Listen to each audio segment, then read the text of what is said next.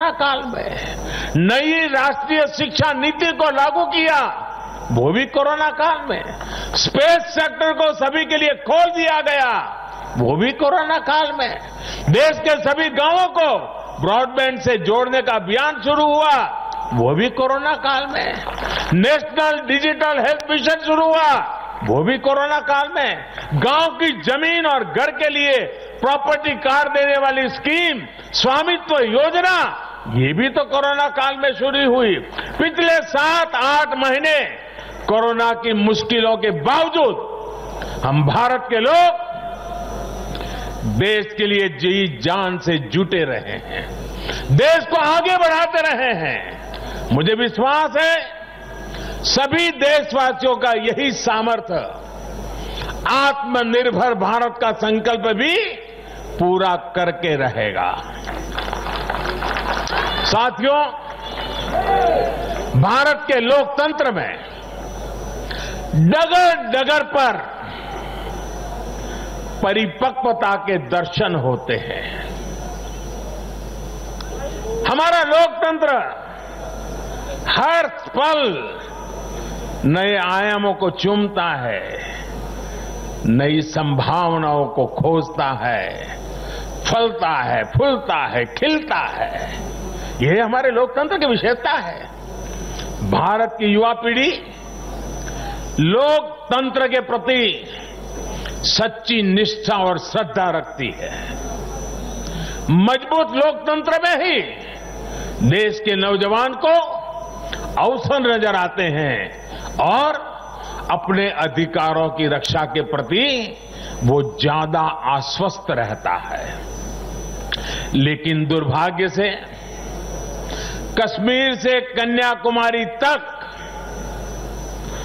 परिवारवादी पार्टियों, परिवार की पार्टियों,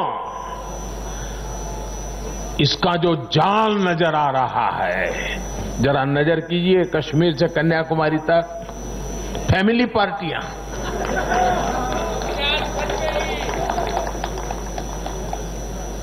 ये पार्टियों का जाल लोकतंत्र के लिए खतरा बनता जा रहा है।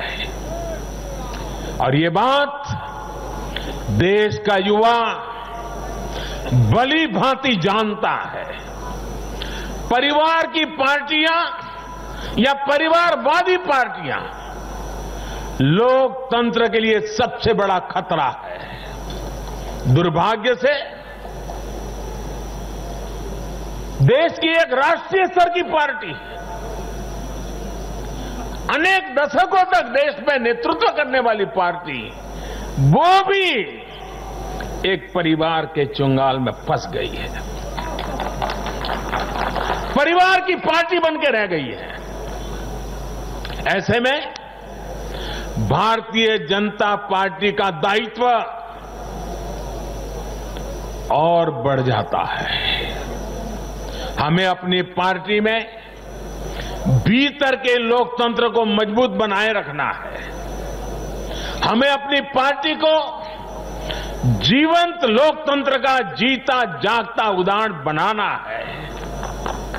और तभी तो देश का प्रधानमंत्री मंच से कह सकता है, नड्डा जी आगे बढ़ो, हम तुम्हारे साथ यही तो पार्टी के लोकतंत्र की ताकत है।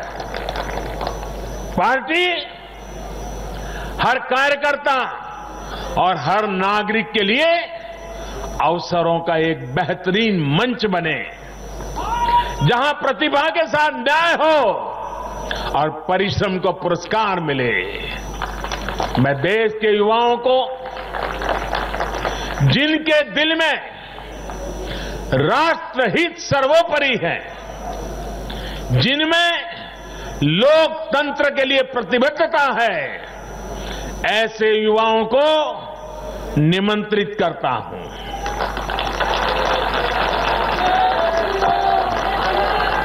देश के युवाओं से मेरा आह्वान है, वो आगे आए और बीजेपी के माध्यम से देश की सेवा में जुट जाएँ। सपनों को साकार करने के लिए, अपने संकल्पों को सिद्ध करने के लिए, कमल को हाथ में लेकर चल पड़े। चरैवेती चरैवेती का मंत्र लेकर के चल पड़े। साथियों, देश में हो रहे इन प्रयासों के बीच, भाजपा का कार्यकर्ता होने के नाते मैं भाजपा के अपने कार्यकर्ता साथियों की मेहनत देखकर भी मन बहुत खुश होता है, प्रसन्न होता है जी। आज भाजपा का विस्तार हो रहा है, इसकी वजह भाजपा के प्रत्येक कार्यकर्ता का तप, त्याग और तपस्या है। और सफलता के इन क्षणों में हमें ये याद रखना है कि हमारा दायित्व भारत के जन जन के प्रति है। जीत का उन्माद नहीं, हार का अवसाद नहीं। यही हमारी परिपाटी रही है और यही हमारी पार्टी के विकास का मंत्र रहा है। देश का आशीर्वाद हमारे साथ है। इस आशीर्वाद को हमें अपना दायित्व पूरा करके निभाना ही हमारी जिम्मेवारी है। राष्ट्र निर्माण का, आत्मनिर्भर भारत के निर्माण का हमारा मिशन अनवरत जारी है। समाज में अंतिम पायदान पर बैठे व्यक्ति के जीवन को हम कैसे आगे बढ़ाएँ? हमारे प्रयास इसी एक निष्ठ लक्ष्य के लिए होने चाहिए। साथियों, जो लोग लोकतांत्रिक तरीके से हमारा मुकाबला नहीं कर पा रहे हैं हमें चुनौती नहीं दे पा रहे हैं।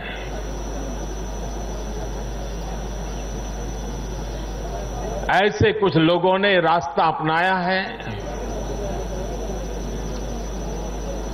भारत के कार्यकर्ताओं की हत्या करने का। देश के कुछ हिस्सों में उनको लगता है कि भारतीय जनता पार्टी के कार्यकर्ताओं को मौत के घाट उतार करके वे अपने मंसूबे पूरे कर लेंगे। मैं उन सबसे आग्रहपूर्वक समझाने का प्रयास भी करता हूँ। मुझे चेतावनी देने की ज़रूरत नहीं है, क्योंकि वो काम जनता जनार्दन करेगी।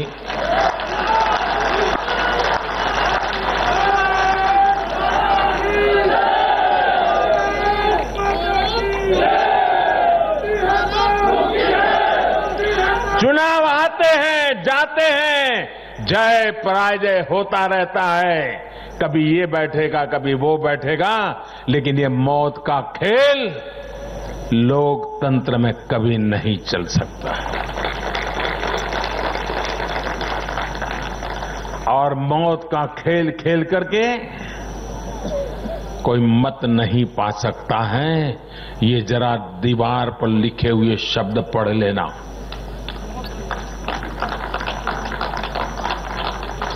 और इसलिए मेरे साथियों, हम लोकतंत्र को समर्पित है। देश ने हम पर जो भरोसा रखा है, उस भरोसे को पूर्ण करने के लिए हम प्रतिबद्ध हैं। हमारी तरफ़ से, हमारे इरादों पर कोई शक नहीं कर सकता। हमारे प्रयासों के प्रति कभी कोई निराश नहीं होता है। हम प्रयास करते रहेंगे अविरत करते रहेंगे, जनता जनार्दन के लिए करेंगे, माँ भारती के एक एक संतान के लिए करेंगे।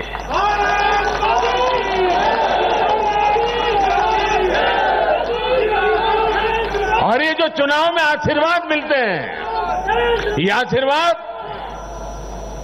हमें अधिक काम करने की ताकत देते हैं, अधिक काम करने की ऊर्जा देते हैं, अधिक काम करने की प्रेरणा देते हैं। और उसी आशीर्वाद को लेकर के मैं जनता जनार्दन के चरणों में अपना शीश झुका करके उनके सपनों को पूरा करने के लिए प्रयास में कोई कमी नहीं रखेंगे। ये विश्वास दिलाना चाहता हूँ।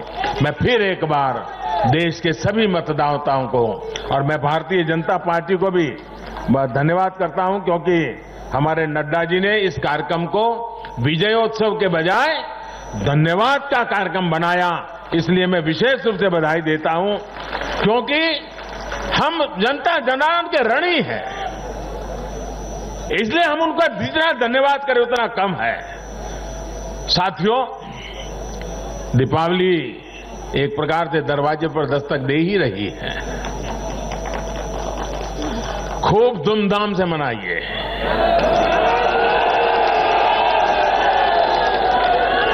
अपना ध्यान रखिए और अपनों का भी ध्यान रखिए।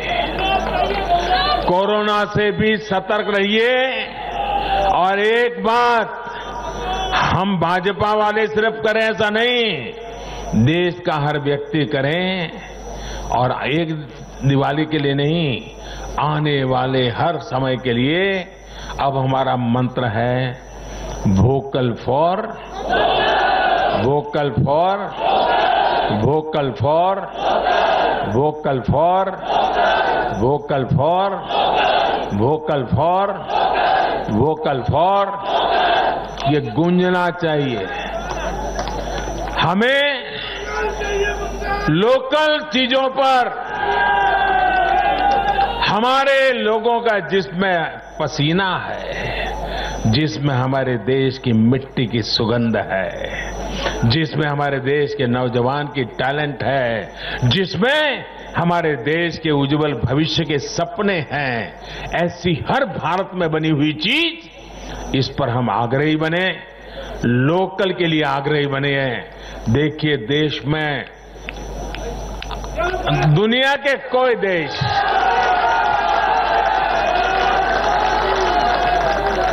कोई हमें दबा नहीं पाएगा, दोस्तों। आप मान के चलिए। मेरे साथ पूरी ताकत से बोलिए, भारत माता की, भारत माता की, भारत माता की। बहुत बहुत धन्यवाद। देश के करोड़ों कार्यकर्ता के ओर से माननीय प्रधानमंत्री जी का तालियों के द्वारा हम सब आभार व्यक्त करते हैं और माननीय राष्ट्रीय अध्यक्ष जी का आभार, माननीय गृह मंत्री जी का आभार, माननीय रक्षा मंत्री जी का आभार, माननीय नितिन गडकरी जी का आभार। सभी केंद्रीय जो नेता यहाँ पे आज भारतीय जनता पार्टी के मुख्यालय पर है, आप सभी का आभार व्यक्त करते हैं। आप सभी को बहुत बहुत धन्यवाद। मित्रों, आप सबसे निवेदन है कि पार्टी। प्रधानमंत्री नरेंद्र मोदी ने धन्यवाद बिहार का ये जो कार्यक्रम रखा गया था, पार्टी मुख्यालय में अपने कार्यकर्ताओं को, बीजेपी वर्कर्स को संबोधित किया। और कई बातों पर उन्होंने बात की। उन्होंने ये बताया कैसे कोरोना काल में चुनाव कराना और जीतना दोनों ही बड़ी चुनौतियाँ थीं। और इसके अलावा उन्होंने आज एक बार फिर परिवारवाद की राजनीति की बात की और कहा कि कैसे ये देश की राजनीति के लिए और देश के लोकतंत्र के लिए एक बड़ा खतरा है। कैसे तमाम राज्यों में परिवारवादी पार्टियाँ अब भी मौजूद हैं। और कांग्रेस का नाम तो उन्होंने नहीं लिया, लेकिन ये कहा कि देश की एक बड़ी पार्टी जिसने लंबे अरसे तक देश पर राज किया, वो अभी भी परिवारवाद के चंगुल में फंसी हुई है। प्रधानमंत्री नरेंद्र मोदी ने नीतीश कुमार का नाम लिया और कहा कि नीतीश कुमार के नेतृत्व में अब बिहार अगले पाँच वर्ष और तरक्की करेगा और उनकी सरकार लोगों की भलाई के लिए काम करेगी। प्रधानमंत्री नरेंद्र मोदी ने भी कहा कि ये साइलेंट वोटर की जो चर्चा बार बार चल रही है, उसका खुलासा आज खुद उन्होंने किया कि साइलेंट वोटर जो कि उन्हें आशीर्वाद देता है, उनकी पार्टी को आशीर्वाद देता है, वो दरअसल देश की महिला शक्ति है। दिल्ली में बीजेपी कार्यालय में हुए इस कार्यक्रम में प्रधानमंत्री नरेंद्र मोदी ने अपने कार्यकर्ताओं को संबोधित किया और दो बातें कही। पहला, उन्होंने परिवारवाद पर निशाना लगाया और दूसरा, लेफ़्ट पार्टीज़ को वार्निंग दी। देश में परिवारवादी पार्टियों को देश के लोकतंत्र के लिए खतरा बताया। प्रधानमंत्री मोदी ने पश्चिम बंगाल में बीजेपी कार्यकर्ताओं की हत्या के मामले पर भी आज बोला। मज़बूत लोकतंत्र में ही देश के नौजवान को अवसर नज़र आते हैं और अपने अधिकारों की रक्षा के प्रति वो ज़्यादा आश्वस्त रहता है। लेकिन दुर्भाग्य से कश्मीर से कन्याकुमारी तक परिवारवादी पार्टियों, परिवार की पार्टियों, इसका जो जाल नज़र आ रहा है, जरा नज़र कीजिए कश्मीर से कन्याकुमारी तक। फैमिली पार्टियाँ।